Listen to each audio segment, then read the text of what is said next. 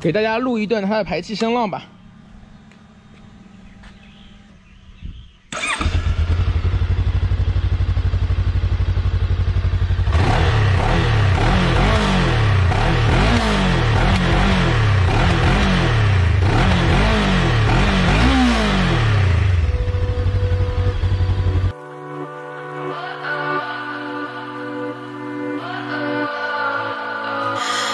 What does perfect even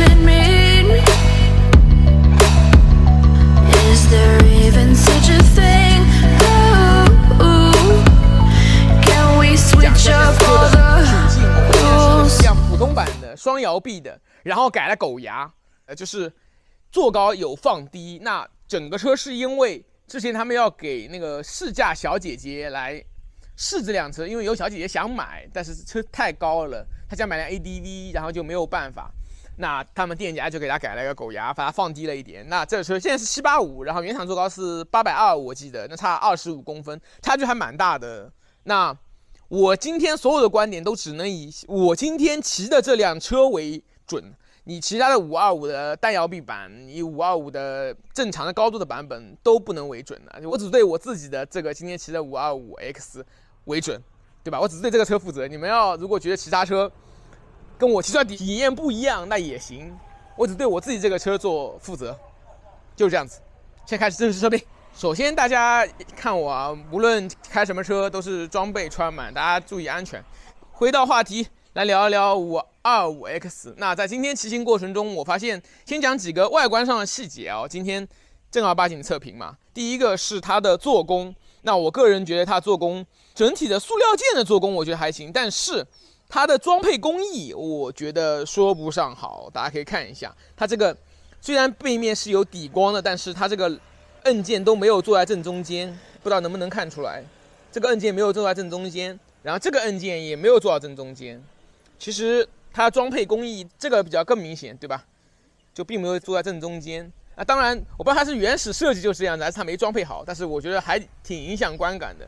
第二个是这个塑料的按键的质感吧，我个人觉得塑料感有点太强了，但整体的做工我觉得还可以，稍微有一点点的瑕疵，就是说有一点点的像这个按键里面它会有割手的情况，但是你自己是摁不到的。其他这些你平常能碰到的地方，我觉得塑料件的做工还可以，但是装配工艺包括缝隙还是有的，并不能说到完美。我今天里里外外看下来，整个车做工表现，我觉得如果满分十分的话，我最多只能给个七分。我觉得不能再高了。其实它漆面还可以啊，现在这车有点脏，这个亮光漆面还可以。整体的造型，我们今天刚刚停在那边，已经跟大家说了。我们插一段咖啡小姐姐的话，您觉得我今天骑的这辆车，你觉得打分外形满分十分，你可以给几分？骑的车太多，有点是吧？审美疲劳？对，给个六分吧。什么？只有六分？骑过来的车太多了，还是我大雨梨好看是不是？你那个确实不错。我为什么说实话，你。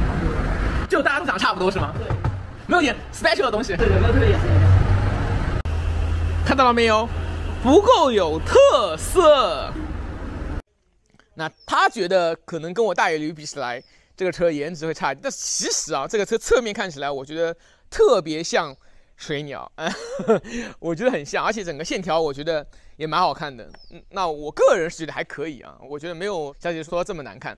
然后整个排气管做工也蛮好看的，就是整个是一体性的，然后有做了鱼鳞焊，就是做了细节的细加工。整个车的外形我是觉得没什么毛病，满分十分，我觉得给个七八分可以给的。真的，我觉得侧面看起来啊，车还是蛮好看的，哪怕它降低完，我也觉得蛮好看的。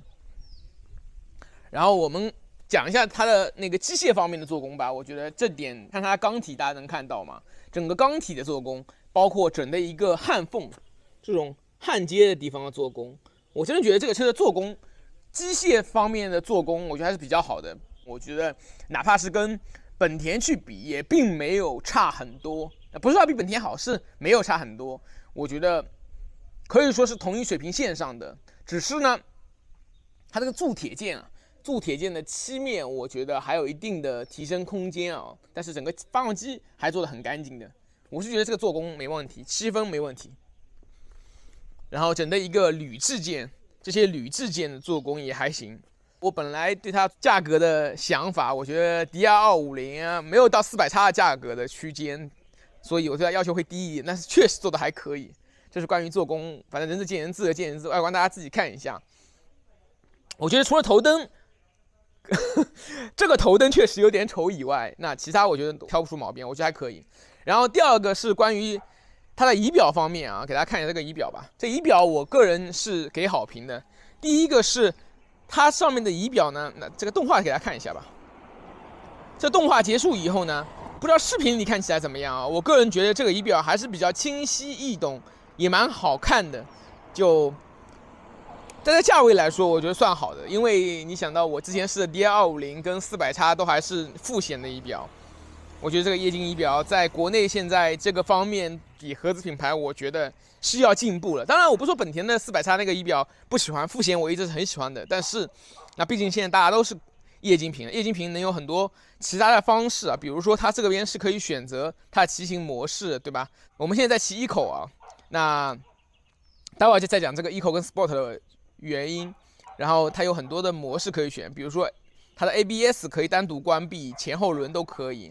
然后这边有个胎压都是可以的，胎压、报警限值、单轮匹配都有，就是很丰富啊。我觉得跟普通的那种仪表区别就是它有很多。其他的东西可以让你选择，我觉得还是比较好的一个东西。我个人是抱以好感的。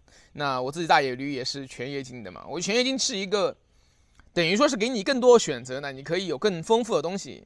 你如果并不单单是一个纯粹的说只是为了好看而已，那你数据等等东西会更多。然后这是液晶仪表，我个人是好评的。然后还有一个呢是这边它有一个那个手机充电口 Type A 的，然后是带这个防水罩的。然后还带个小扣子啊，我觉得细节都做的蛮好的。这还带个小扣子，然后这边带一个一百二十瓦的一个点烟口的充电器，然后也是带防水罩的。我这些配置，我觉得如果说你作为摩旅来说是实用向的。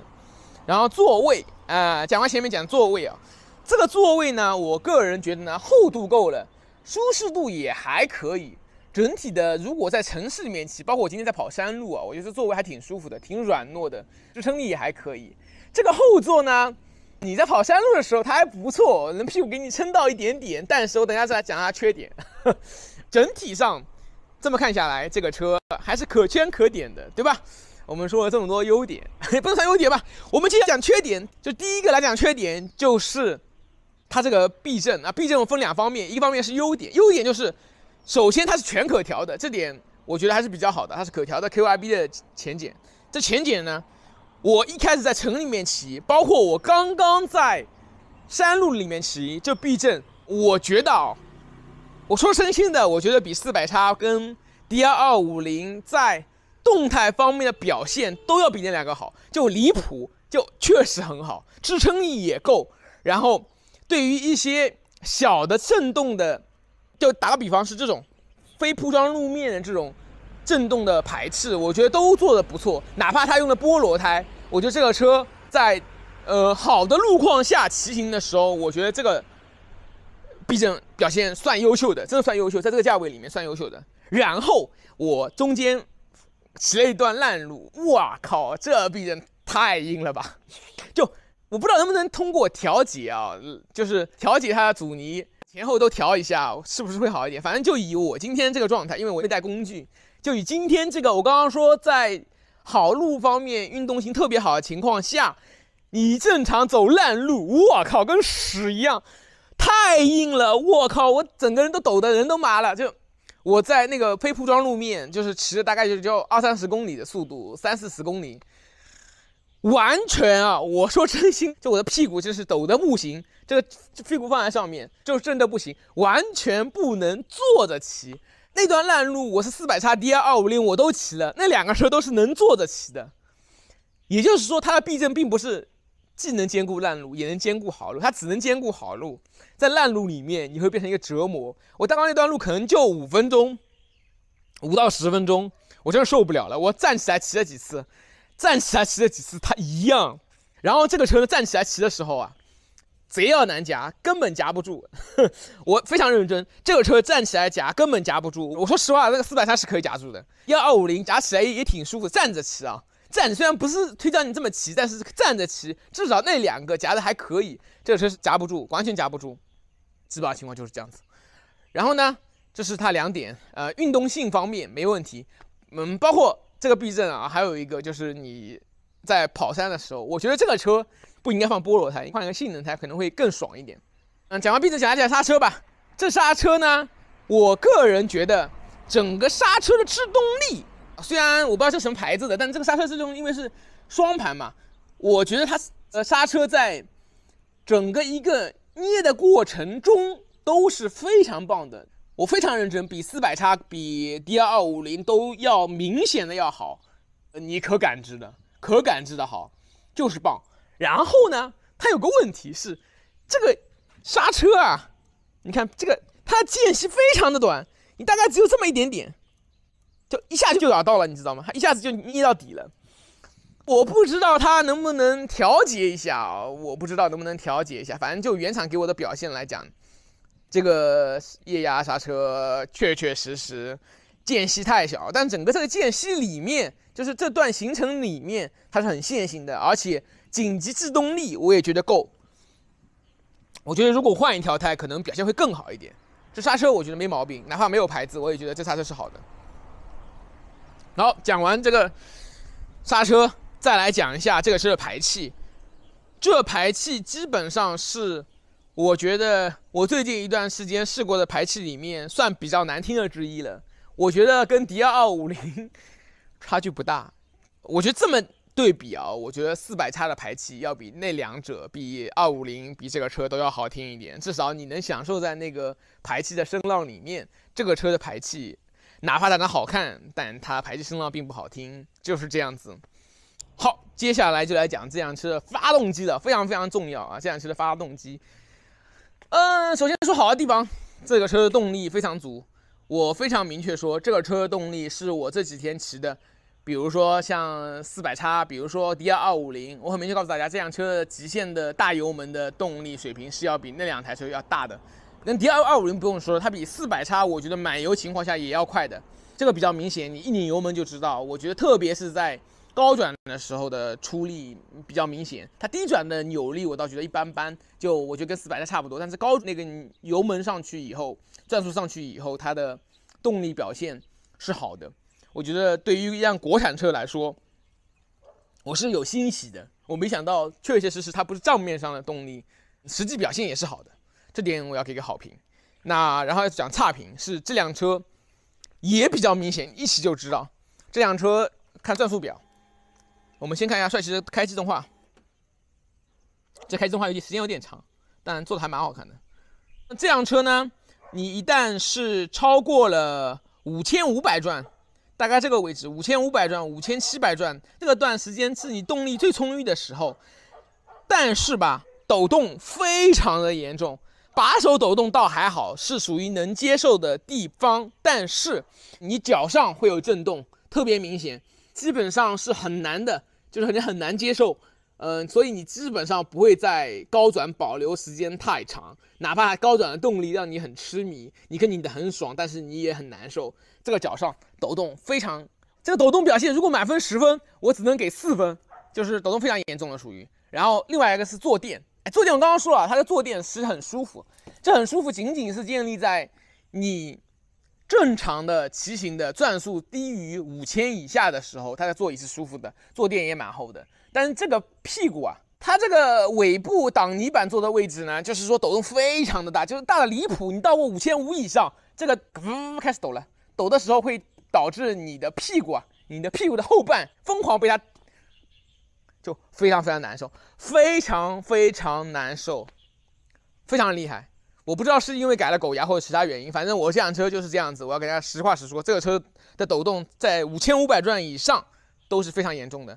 你说，如果你是安安静静的骑，没毛病，你可以骑得很开心，就跟我今天拉跑山，我觉得一点问题都没有，能够骑得很开心。但是如果你想要激烈驾驶，就激烈驾驶，把转速叭叭拧上去，当一辆运动车去骑。我觉得是不合适的，我觉得是不合格的，真的是不合格。我觉得最多我给五分，就抖动太厉害了。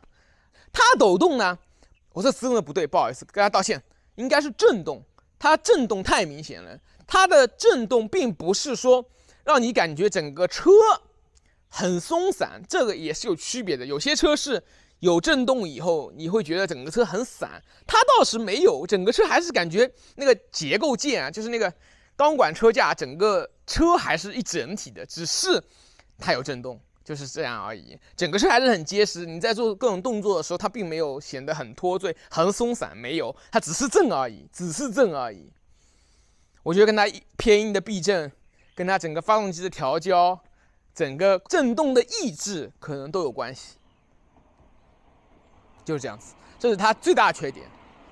然后说一下骑姿吧，这辆车骑姿其实有蛮多可以聊的。第一个，它把手非常高，这感觉并不是一辆 ADV 车型，你感觉你更像骑一辆巡航，把手非常的高，感觉像高把，你知道吗？就四百叉跟 D 二五零都没有这种情况，就是跟我大野驴差不多，就没有一种你骑 ADV 的坐，把手太高大了，导致它有点像你骑巡航车的高把的感觉。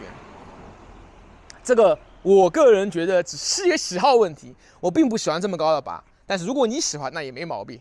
我觉得高把呢，这样子看它就是好看，我觉得可以稍微低一点，稍微低一点，这样子会更运动一点。越高把，我觉得对运动性是负分，我觉得是有减弱的。本身这个车，我觉得动态表现是很好的，就是在路况好的时候，动态表现还是非常优秀的。然后高把拖了后腿，就这样子。这基本上就是凯越 525X 的所有内容，它优缺点我讲完了。